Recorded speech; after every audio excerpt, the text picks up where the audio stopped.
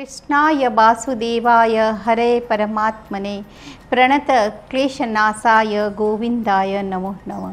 नमस्कार उदय India digital में आपका स्वागत है। मैं हूँ उपाली अपराजिता। कार्तिक का पवित्र मास चल रहा है। इस महीने में भगवान कृष्ण का नाम लेना पुण्य फल प्रदान करने वाला होता है।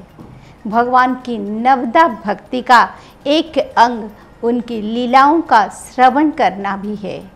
तो मैं आज आपको भगवान श्री हरि के जीवन से जुड़ी एक अद्भुत घटना सुनाती हूँ, जो आपने पहले कभी नहीं सुनी होगी।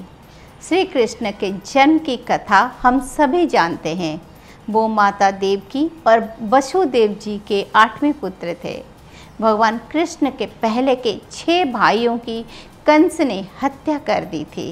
आज मैं आपको बताऊँगी कि ये छह भाई कौन थे, जिन्हें स्वयं भगवान का सहोदर भाई होने पर भी ऐसी दर्दनाक मृत्यु प्राप्त हुई।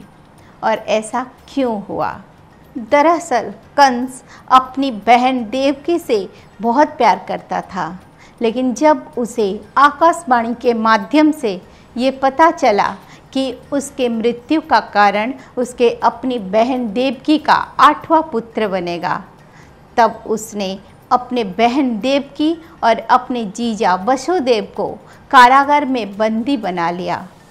कंस की इच्छा थी कि वो देवकी का ही वध कर दे, लेकिन धर्मपरायण वसुदेव जी ने उसे वचन दिया कि वो अपने पुत्रों को कंस को सौंप देंगे। तब कंस ने देवकी को मारने का विचार त्याग दिया। जब देवकी माता को पहला पुत्र हुआ, तब कंस ने उसे मृत्यु के घाट उतार दिया।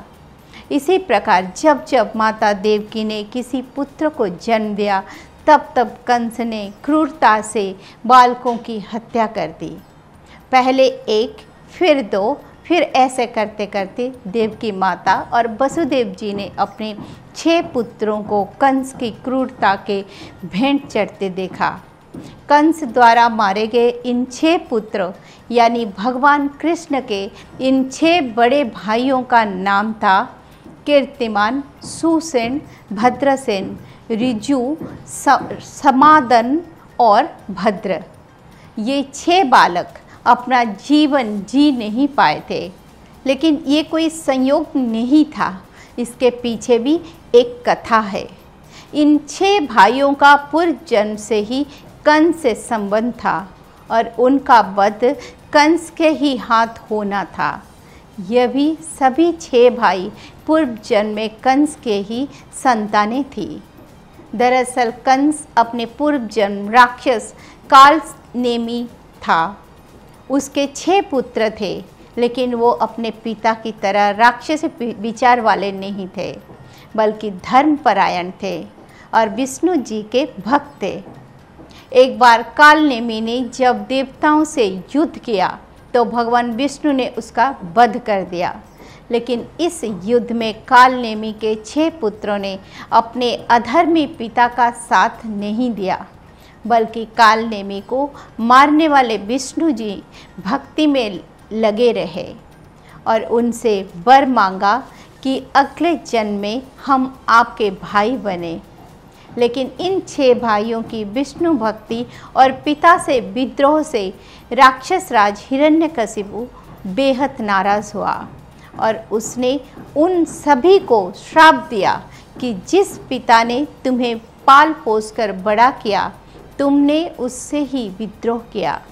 उससे तो अच्छा था कि तुम्हारा पिता अपने हाथों से तुम्हारा वध कर देता। काल ने नेमी उस जन्म में तो उन सभी को हत्या नहीं कर पाया। लेकिन जब वो कंस बनकर जन्मा, तब द्वापर में इन्हीं छह पुत्रों ने देवकी के गर्भ से जन्म लिया। विष्णु जी से मिले वरदान के कारण वो सभी स्वयं श्री कृष्ण के भाई तो बने, लेकिन हिरण्यकशिपु से मिले श्राप के कारण अपने पूर्व जन्म के पिता के हाथों मारे गए। लेकिन अपनी भक्ति के कारण कीर्तिमान सुसेन, भद्रसेन, रिजु, समार्दन और भद्र को वैकुंठ की प्राप्ति हुई। देवकी के सातवें पुत्र स्वयं शेषनाग के अवतार थे। वो देवकी माता के गर्भ से रोहिणी माता के गर्भ में परिवर्तित हुए थे। गर्भ संकर्षण के कारण इनका प्रथम नाम संकर्षण पड़ा। हालाँकि बाद में नामकरण करने पर इनका नाम बलराम रखा गया, जिन्हें कन्हैया बलदाऊ बुलाते थे। आखिर में कंस का विनाश करने वाले भगवान विष्णु के अवतार और माता देवकी के आठवें पुत्र श्री कृष्ण का जन्म हुआ, जिन्होंने इतिहास ही बदल कर रख दिया।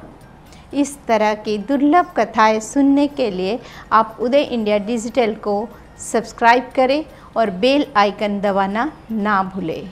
जय श्री कृष्ण